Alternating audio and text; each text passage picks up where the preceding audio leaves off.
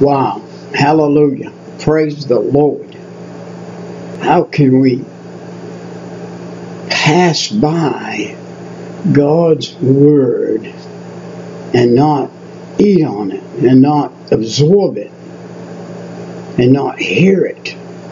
Not, not, we can almost hear it with our ears, hearing it with our heart. Uh, Psalm 4, the Psalm of David, an evening prayer of trust in God. One that you can lay down and go to sleep. And, and after after eating on it a bit and and meditate on the Lord and close your eyes and uh, pull the uh, quilt right over the top of your head and be enveloped in light. Be enveloped in the light of God.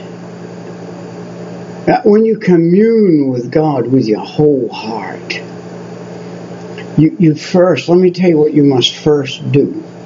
You must get your body clean of outside entities.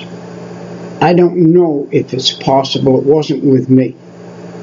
Back when I smoked and I first got saved, it wasn't possible with me to have what I have now that I've given up the smoking.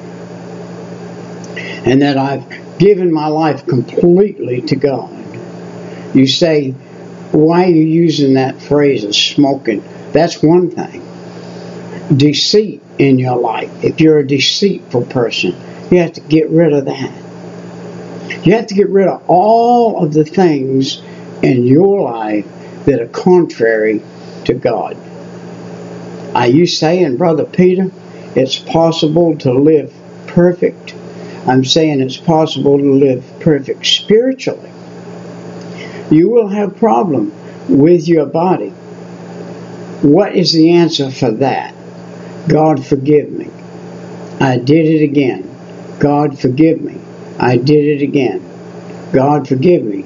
I did it again. And during a, a month or two that you're trying to develop that clean spiritual body and staying in the Word, you will work on things. Just when you think, well, man, I got that that out of the way now, and then uh, you're around somebody and they say, "What is that word you're using?" I spoke to one of my very best, very best friends the other day. He had a, a, a little word in his life. He'd been saved a long time.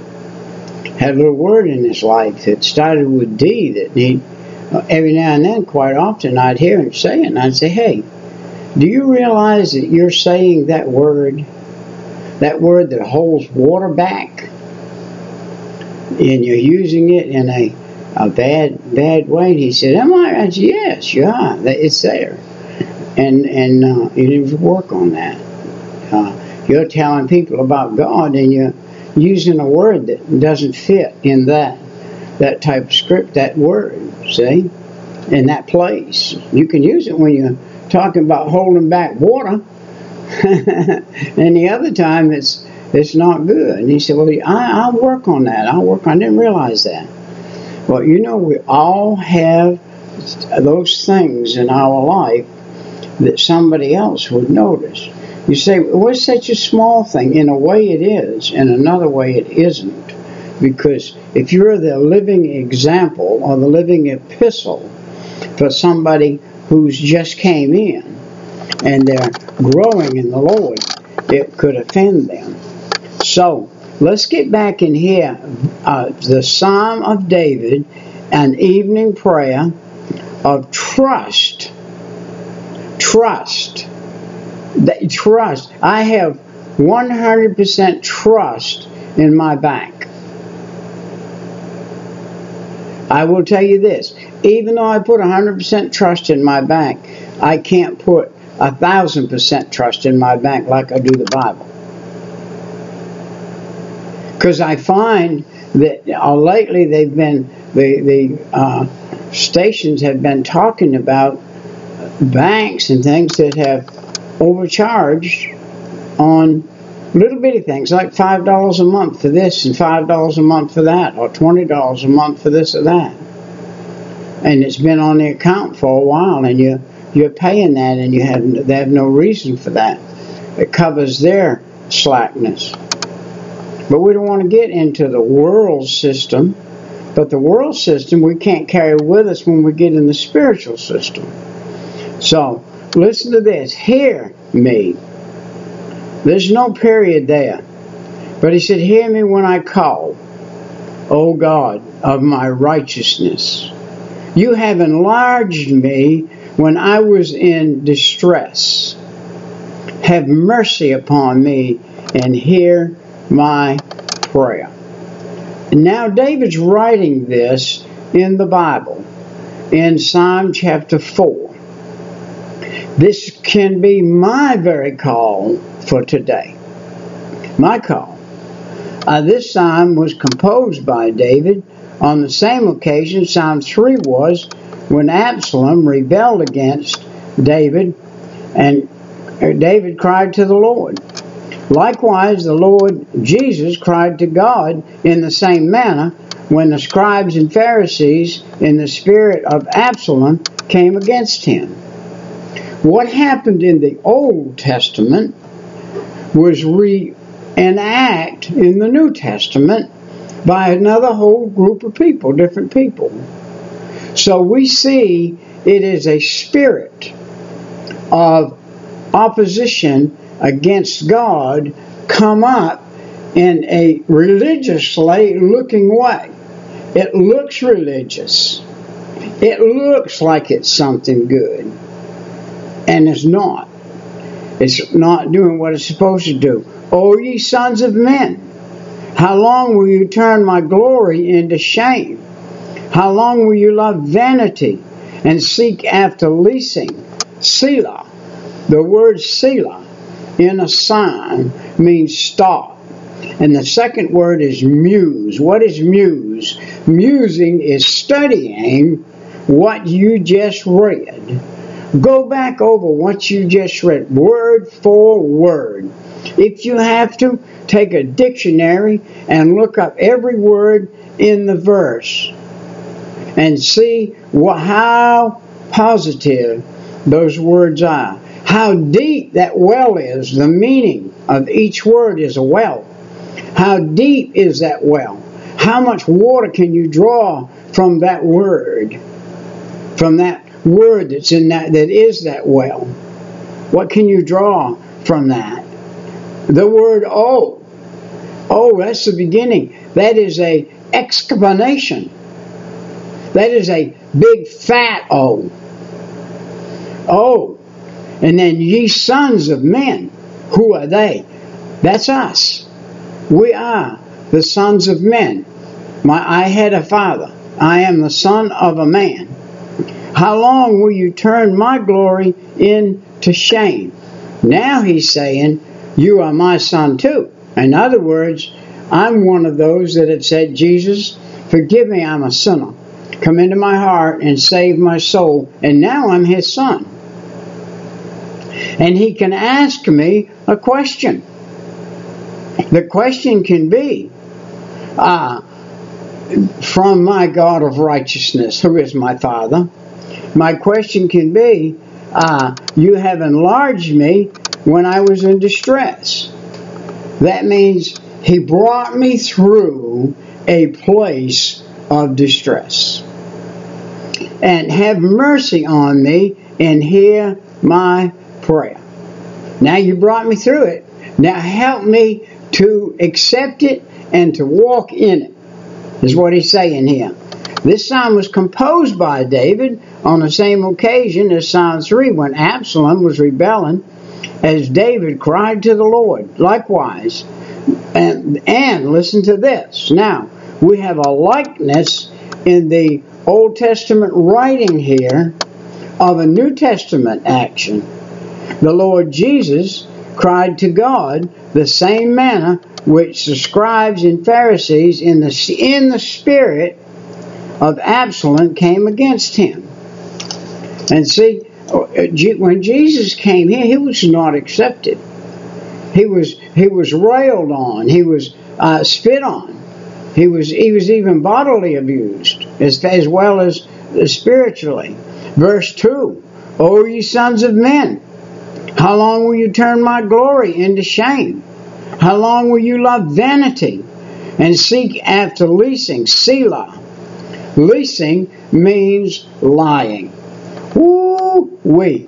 You are looking right now at the biggest lie you ever saw in your life. I was the champion of champion of champion of liars when I was a kid. And I have to watch myself even now. I'm 78 years old. Been saved since 1972. That tongue right there can be like the split tongue of a serpent. It can tell a lie. It can tell an untruth. It can tell almost true. It can tell all kinds of things if you do not watch it. So, sons of men, how long will my glory be turned into shame? How long will you love vanity and seek after leasing? So, see, Absalom was a, a son of David, and he was in rebellion. And he was in that rebellion against his father. And the scribes and Pharisees rebelled against Christ in the New Testament. Christ came along, scribes and Pharisees says, "We're not having you. We're not believing you." Jesus said, "I am the Messiah walking in the flesh. I am God in the flesh. I was uh, placed in a virgin by my Father, and I was born on this earth. I have walked 30 years on this earth, 33 altogether, sinless, with no not one speck of sin on me. Not you can't count one back. God sent me to prove that a man could walk on this earth sinless. How does he have to do that? He has to stay under himself. He has to clean his life up. He has to clean his head up. He has to clean his heart up. He has to clean his ways up and follow God. How do you do that? It's not easy. It, once you first get going, once you get going, it becomes easier and easier. God will smite you very quickly if you do something that He's not happy with. So you have to be careful. Listen to verse 3. But know that the Lord has set upon him who is godly for himself, and the Lord will hear when I call unto him. What brought me, I'm all the way up into Psalm 30 on my regular daily uh, speaking on Psalms, and I had to drop back today and get in Psalm 4 to get myself straightened out so that I can uh, get back up into Psalm 30, 31 and them other Psalms. So I had to come back down here and take a look and say, where do I need refreshing? This is where I need refreshing. It's like dying of thirst and need a drink of water. See, I'm dying for proper righteousness. I want proper righteousness. I have to kill myself daily to have the righteousness of God. And I get it from his book. Stand in awe. Man, what a sentence that is. That's like if you all of a sudden saw a plane in the air start flipping over and headed toward the ground. You would be in awe. Your mouth would be open. And you'd say, Oh, what just happened? That's like being in the Bible. These words are like a plane flying. And and in, in awe, you need to be in awe of the words of what they say. And sin not. He said, stand in awe and sin not. You might be the plane that's tumbling, that's coming down. You're going to have to work on that so that doesn't happen to you. Listen to what he said commune in your own heart upon your own bed and be still. Selah. That means when you're on your bed, stop. Go to bed and think, well, I'm going to go to bed and go right to sleep. No. You lay down in that bed, you thank the Lord for it. You say, Lord, thank you. oh, man. I say it too. Oh, thank you, Lord, for this bed. Whew. Did I need this? I need this bed right now. Thank you for this bed. I really thank you, Lord, too, for this mattress, for this comfort. I thank you for this quilt and this cool house. I thank you for these things. And, and then talk with the Lord about the day. Talk with the Lord about the night. Ask Him for a good, quick rest. Maybe uh, sleep four hours and say, Lord, I need eight hours and four hours, please. Well, if you've communed with Him and you have peace in your heart and you can get it, in four hours you're wide awake. Say, well, you know, that just doesn't seem like enough. Say, think I'll lay here a bit. And the Lord said, You asked me for four solid hours of sleep. I gave it to you. Now get up. Go to work. do what you're supposed to do. And so that's it. Offer the sacrifice of righteousness and put your trust in the Lord. What is the sacrifice right here in righteousness and what I just got done saying? Is that I prayed, He answered, and now what is the sacrifice? Get on the tube. Get up. Take a shower, which I did this morning. I didn't shave, but I took a shower. Dressed my hair, dressed my clothes, worked on my legs that are being worked on. A soul, offer the sacrifice of righteousness. In effect, Jesus is saying that he counsels the Pharisees to continue with their own hearts, to be silent in true conversation, and to offer righteous sacrifice and not vain obligation. Do you know what vain obligation to an average Christian today is? is to live for the devil all week, or pretty much of the week. You don't talk to people about God. You don't say anything about being a Christian. You actually use products that a Christian shouldn't use. And people know that. People that are not saved know the minute that you use and, and you're doing something that's not of God, they know that. If you're doing the same thing they're doing, and they're fixing it all up, and you say, hey, let me have one of them, and you light up too, you just killed your testimony. 100%. Just like taking a, a, a big, big nail and a hammer that's too small to drive that nail and hit that nail and you can hit on it from now on with that little bitty hammer and it's not going to drive that big nail in the ground but it's always going to be sticking up there that big in the way that's what having a little sin in your life is. It's like a big nail sticking up there. And and people know it. And it causes you to be ineffective. In effect it said here jesus is saying that he counseled with the pharisees to commune with their own heart, to be silent in true conversation, and to offer righteous sacrifice and not vain obligation. Can you commune with your own heart? Can you say, I need to clean this one up.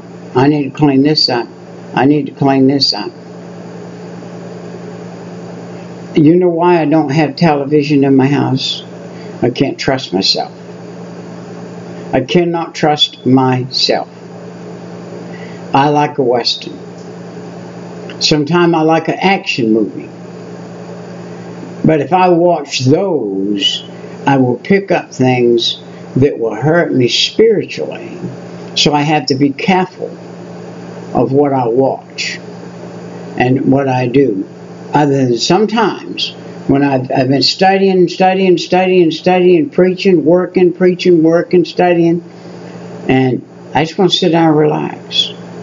So now I have some VCR tapes, old ones, of the Bible and people acting it out in Acts and Matthew. And every time I can find some, I buy them and I put them in my VCR and watch those religiously to stay in communion with God. Staying in communion with God, that's important. All right. There are many who say, We will show us, and there be many who say, Who will show us any good? Lord, lift thou up the light of thy countenance upon us. Whew. Where do you find the light of God's countenance? If you've got his countenance, that means you've got his presence. Where is his presence today? The only way it's in you if you've got it in you through this book. If you studied this book and you've said, Jesus, I'm a sinner, forgive me of my sin, come into my heart, and you want his presence, he will come and sup with you and you with him when you're in his book. He this is his dinner plate. He sets it before you. You can eat all you want. You can eat the solid food and you can eat the dessert. You can eat the singing, the psalms, and you can eat what says you have to say, Oh me, I missed the mark on that. Lord help me. It, the more you're in his book, the closer you can get to him. Verse 7 You have put gladness in my heart more than in the time that the corn and the wine increased. See, David's writing this in a day when, boy, it was something to have a good crop of corn. It was something that you'd had a good crop of grapes and the wine increased. But Many, many, many people read the Bible. When they read wine, they automatically think of alcohol. The water over there in Israel just is not fit to drink. I mean, you'd have had to have been born there and be a camel just about to drink the water.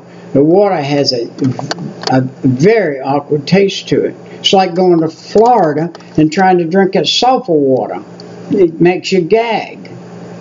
And so uh, they drank grape juice. It didn't have to be fermented. Fresh grape juice. We get it all the time. I buy it in the store. Welch's grape juice. It's juice that's not been turned into wine. So when you're talking about grape juice, you're not talking, oh, talking about wine, you're talking about new wine. New wine is not fermented. When Jesus made the big firkins of wine, he said, fill them with water. And, I, and then he turned them into wine. And the king said, This is the best wine. This, you are something to keep the best wine to last. See, because it was new wine, it was fresh wine. It didn't have to be alcohol, it didn't have to be something to make you drunk. And so uh, that's what it is. The greater blessings are spiritual rather than material. That's the greater blessing. Verse 8 I will both lay me down in peace and sleep. For you, Lord, only make me dwell in safety. The Lord makes me dwell in safety. I do not have to fear because I have the Lord watching over me. It said, even in the face of uh, acute trouble, David did, and the Lord likewise lay down in perfect peace and went immediately to sleep. For he was the prince and the perf- perfecter of faith in Luke 21 37 and, and 38. Do you know when Jesus was walking across this country for three years? The, the marauders over there, uh, uh, there are more marauders than there are Christians for sure. They hide behind rocks. They get bands together, eight or ten or twelve of them, and they'll come out, a little group like Jesus was walking across there, and they'll kill them. They'll knock them all out and take all of their clothes, strip their bodies, and leave them naked. The body be laying there naked and they take all of their clothes. And they do they do things. And they'll go into a town and they'll sell all those clothes they got. And they live that way. And they're all over the place over there.